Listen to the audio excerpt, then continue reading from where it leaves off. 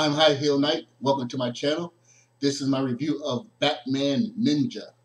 I give the movie a D+. Gorilla Grodd has created a time machine and has housed it in Arkham Asylum. Batman and Catwoman attempt to defeat Grodd's plan. There's an accident, and Grodd, Batman, Catwoman, as long as several villains and heroes wind up being transported to ancient Japan. Now, Batman actually arrives two years after everyone else, so everyone else has accustomed themselves to the Japanese culture of that era, and Batman must defeat Grodd as well as the other villains, get everyone back to present day Gotham while relying not on his usual tech, but all of the assets and skills and items available in ancient Japan time. I'm not really an anime fan. I mean, I like certain animes, and then there are certain anime inspired items that I like. But as overall whole for action anime, I'm not really a big fan. Uh, I wound up watching the DVD extras first instead of the movie first because of some uh, unique circumstances. And in the extras, I learned that one of the people that worked on Batman Ninja also worked on Afro Samurai, which I enjoyed. So I figured, hey, okay, maybe this movie might not be so bad. Boy, was I wrong. Uh, this movie's terrible. Absolutely terrible. There's very little I can praise about this movie. It's a unique film in which it looks great, but it's terrible to watch. By that I mean, if you pause the movie at just about any point, you can admire the character designs and setting. There's a lot of imagination, there's a lot of detail. It looks fantastic. But when the animation is going and the story is going and the action is going and what passes for a plot is going, it's just terrible. It's a mess. It's ridiculous. It barely makes any sense. Uh, one of the best parts of the movie is the climax. There is a duel between Joker and Batman, and that's when the action focuses on just those two characters, their interaction and their fight, and it, it looks fantastic. Uh, another great part is the credit sequence. During the credits, uh, there are pictures presented sort of like a comic book panels, and it tells the uh, aftermath of what happens. And that's a very great sequence because you can actually uh, enjoy the story, and there's a lot more focus on story than all the zaniness and absurdity that happens in the movie. But this highlights how awful the movie is. I mean, think about it. The best parts of the movie is when you pause it or when you watch the stills from the credits. In other words, the best part of your animated movie is when the movie's not animating.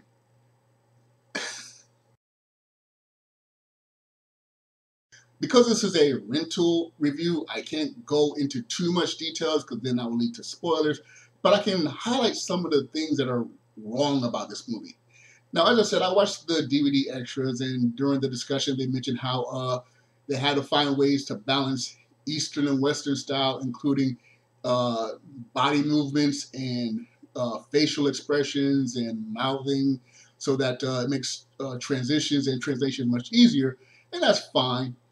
Uh, and I'm sure that there's different styles of storytelling in, in Eastern culture than Western culture, but still, I believe that no matter where you are, there are certain rules to uh, telling a good story, and there are certainly certain rules about uh, characters that you establish for over several decades. And this movie just either ignores them or breaks them. Uh, for instance, there's uh, a scene in which Two Face is allied with a particular character, and then he flips his coin and catches it, and he turns bad. Uh, we're to presume, assume that the coin went on the bad side. But the thing is, we don't see the coin. He flips the coin, catches it, and he's like, okay, I'm bad now. And it's like, all right, even if you don't show the audience the coin, I mean, even if uh, I'm sure coins are very different uh, in ancient Japan than they are of modern America, but still, it's two different sides. You got to show the other side, or you got to at least show the character looking at the coin. He doesn't flip, catch it, and then decides to be bad. That's not how Two Face works. He flips the coin, catches it, sees the coin, and then makes a decision based on how that coin goes. You know, he doesn't just catch it. So that, that's a break of the rule right there. Uh, another part is uh, Robin has this little uh, ch uh, chimp friend, and now the chimp doesn't speak uh, human language, but Robin and the chimp can understand each other. Like, okay, fine. There's, you know, that happens a lot in cartoons and anime and things like that, so fine. Uh, and then during the epic battle, Robin's playing a flute and he's blowing into the flute while the monkey does the uh, uh, holes. Like, okay, fine, again, you know, little animal psychic. But then from out of nowhere, this little female chimp appears and she helps play the flute. And I'm thinking, who is this character? There is no explanation of this character. In fact, one of the characters says, Who's that? And no one answers. She just comes out in the middle of the third act, helps play the flute, then leaves the third act, and then oh, during the uh, resolution period, you know, after the climax and everything, she's back again for a few moments. It's like she has about less than 15 seconds of actual screen time, yet she's uh, sent you to the climax or the, or the third act. It's like, no, you just can't introduce a character out of nowhere. Who is this character? Or is this something that happens in Japan? I mean, is she some character that just pops up? Uh, you know, is the chimp and this chimp girl a Japanese uh, Batman over there? You know, who is this character? So there's a period when Bruce Wayne has to walk around in the city uh, so we can, you know, strategize as well as get accustomed to the area. And of course, he just can't walk around as Batman too all the time. So he wears a traditional Japanese outfit of the time, but his head is shaved, the top of his head is shaved, and there's a Batman logo on the top of his head. You can't not notice that logo. He's got a bald head with the Batman logo. He's trying to be incognito. That's not the way you can be incognito. Okay, that just does not make any sense whatsoever. He's a stranger to that city, and everyone's going to notice this tall, white stranger in the middle of Japan, and they're definitely going to notice a big bald scout with a Batman logo painted on it.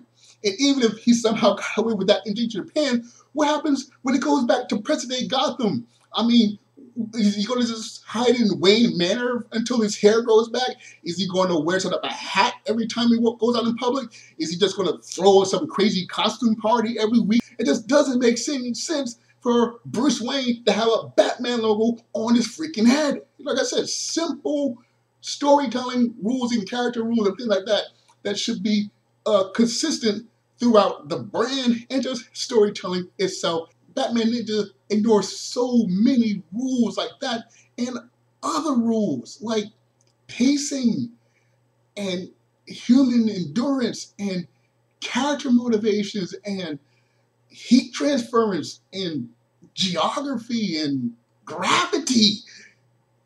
Ugh. Ah.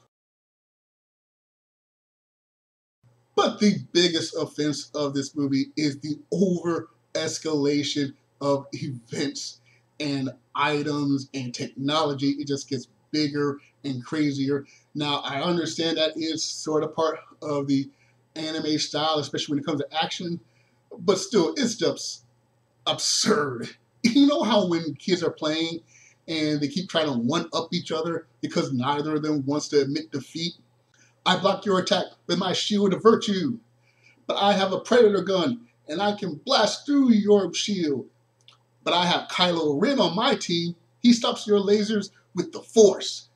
Well, I have Eleven on my team, and her powers come from the upside down dimension and are immune to the Force.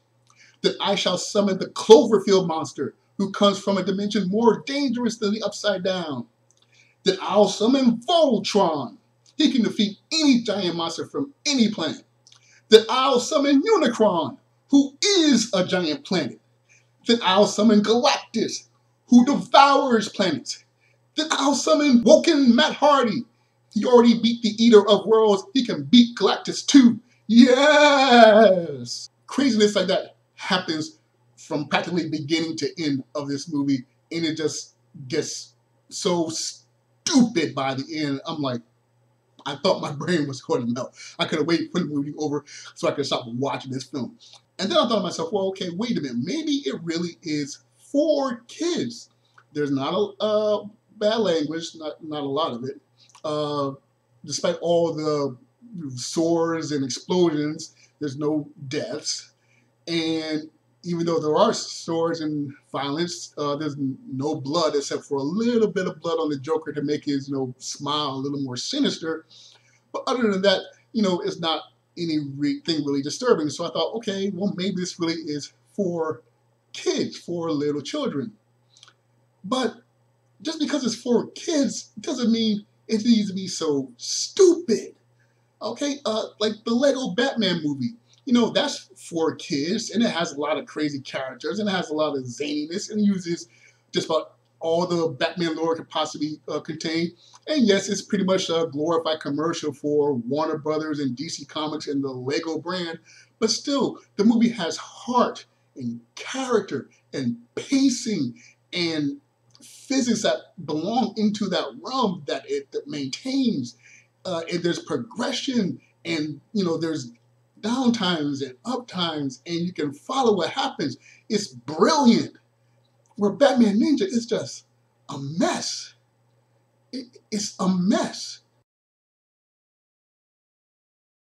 Earlier this year, I did a triple movie review of three animated Batman movies, and all three of those films were better than Batman Ninja, including the Scooby Doo movie, which actually features a talking chimp. In 2016, Batman the Killing Joke was released. And it has some structure issues, but still, overall, it's a much better movie than Batman Ninja. The Joel Schumacher films are terrible, and both of them are much better than Batman Ninja. Maybe it's just me, maybe it's a cultural thing. You know, maybe uh, Batman Ninja will do fantastic in the Japanese market, in the action anime market, or the children's market, or whatever market they're trying to get this movie towards. Maybe it would be fantastic. From, but from where I sit, Batman Ninja is the second worst Batman project I have ever had to witness.